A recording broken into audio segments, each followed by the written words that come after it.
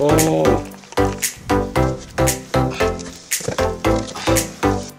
여보 갖고 좀 가요. 아, 왜 이러는데?